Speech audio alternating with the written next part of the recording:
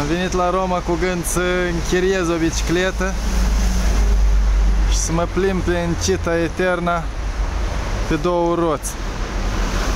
Dar se pare că businessul cu biciclete închiriate o cam ieșuat. Investiția singaporeză. Mai încerc. Un pui de mașină și ocupă întregul loc de parcare.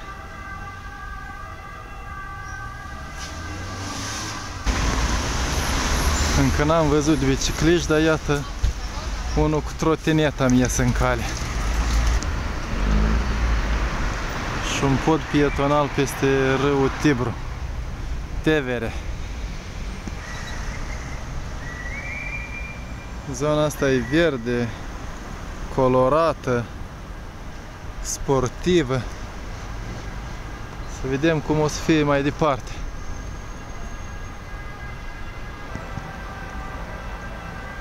Hopa, e mare râu.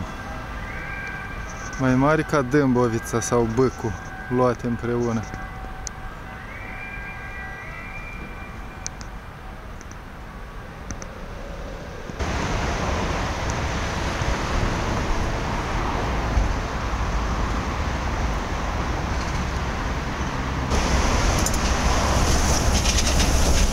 În spate podul muzicii și în față e una dintre colinele Romei.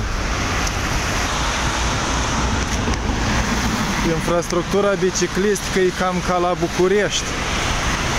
Dezastruoasă. Autoritățile s-au gândit că pe aici poate să meargă bicicleta și trotineta. Dar n-au încercat să vadă ei dacă se poate fizic merge prin hărtoapele astea.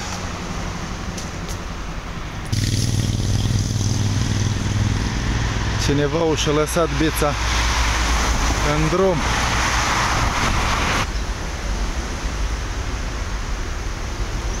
Parc de biciclete abandonate sau puse la conservare pentru iarnă pe malul râului. De fapt aici e atelier de reparat biciclete, dar pot și să închiriez cu 10 ore, 10 euro pe zi.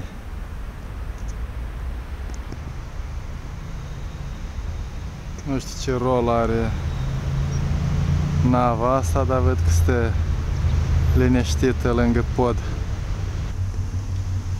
Nu știu dacă podul e la fel de vechi, dar obeliscul acela poartă numele lui Mussolini odiosul duce dictator care s-a aliat cu Hitler și a făcut un mare căcat la începutul secolului trecut. Altă barcă văd care nume de universitate. Universitatea pe ape. La cât de agitată e apa aici, nu știu dacă poți urca cu caiacul. Cred că sportivii cei veneau până aici se întorceau înapoi. Acolo în vale apa e liniștită, parcă e un lac. Credeam că numai în cele două țări românești drapelele sunt lăsate de izbelește, dar văd că și în capitala latinității drapelul european și cel italian probabil pe o clădire de stat sunt lăsate la putrefacții, la macerat. Unii instalează cortul pentru activități lângă pod. O fi activități comerciale sau ceva de colectat semnături, donații. Asociațiune sportivă.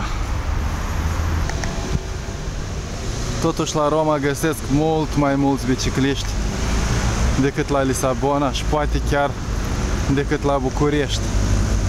Și Și aici e îmbucurător, sunt foarte mulți bicicliști în vârstă, cu barba sură.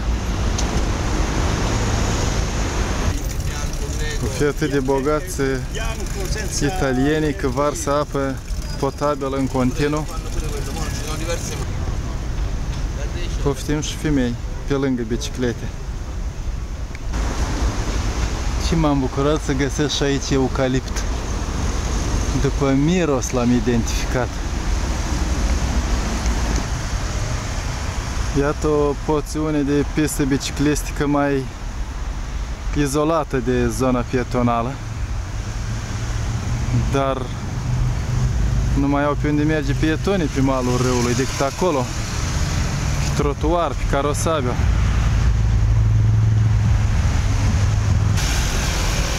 Cruci am mai văzut legate de piloni sau chiar instalate pe marginea drumului. Dar așa, buchete de flori stâlp, prima dată ved. E atât de murdară pista asta încât un biciclist o decis să, să meargă pe dincolo, pe trotuar.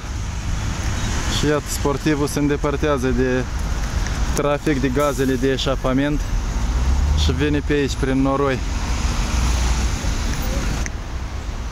O biță ascunsă în tufe, mult gunoi pe malul râului și oameni care trăiesc sub pod. Sărăcie și în țări prospere. Probabil sunt migranți. Veniți cu tot cu copii.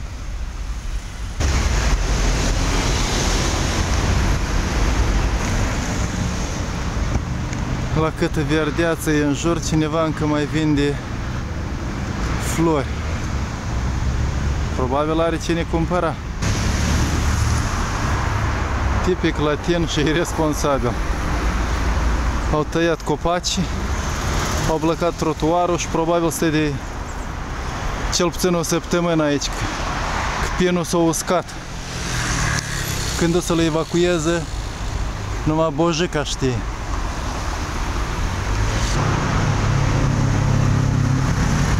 Reclamă la stație. La noi ar fi ieșit scandal. Credeam că e un pod antic, vechi, dar văd că anul indicat aici cu cifre romane pare relativ recent. Dar motivele arhitectonice sunt antice. Unii încearcă să imite antichitatea și alții se exprimă în stil modern. Acolo au vrut să mai fac un pod și s-au răzgândit. Molima iubirii o găsim și aici pe gardă. Jele mari. Dacă umplut Europa cu copii ale lupei romane, de ce să nu facă și patru exemplare pe podul ăsta? Lupa Capitolina, că e simbolul fondării Romei cu mii de ani în urmă.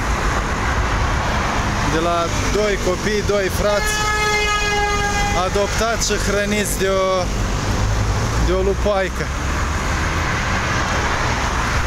Dar au fost așa, dar nu au fost greu de spus.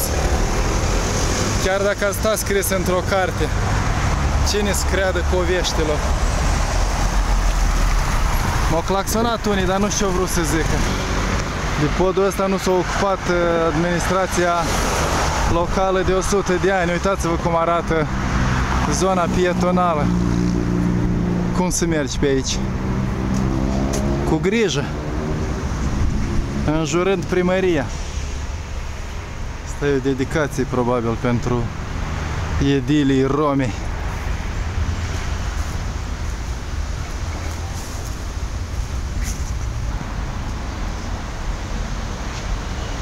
Salut de la Roma. Am Am pornit din Portugalia și pe Via Portugalo am ajuns. Romanii antici construiau apeducte scumpe și sofisticate pentru a aduce apă potabilă din munți în Cita Eterna, dar acum văd că o risipesc așa, curge în continuu. Și nu s-a inventat încă robinetul la italieni. Pentru că bicicleta se blochează, nu a putut să o fure întreagă. În schimb, i-a furat șaua. Și am observat că mai mult o pățit astfel. Și chiar nu se poate inventa un sistem antifurt. Din coace unul legat doar roata din față în rasteluri din astea idiote. Și a rămas fără bicicletă. Roata este. Nu mai bine o legat de gardul ăsta. Aici un eventual hoț poate să fure două biciclete odată. A, bine, sunt legate roțele din spate. Dar tot nu sunt legate ramele. Da, e greu să fii biciclist la Roma. O restul e cum de nu i-a furat scaunul pentru copil. Chiar dacă nu are copil, să-l vândă la piață. Ladre de biciclete. Ăsta e numele unui film clasic italian de după război despre sărăcia din Italia și despre unul care își găsese de lucru cu bicicleta și a rămas fără bicicletă, deci fără loc de muncă. Dacă nu l-ați văzut, căutați-l pe internet, trebuie să fie și în italiană și titrat. Am ajuns la loc aglomerat. Dacă vă mai interesează ce s-a întâmplat cu mine la Roma, căutați Curaj TV, canalul meu de YouTube, canalele, că am două, și o să aflați. Dacă vă place, puneți like, faceți share. Dacă nu vă place tot așa, luați linkul la canal sau la Curaj TV unde ați văzut publicația asta și trimiteți prietenilor și prietenilor. Băi, văzut ce face brega ăsta? Ciao!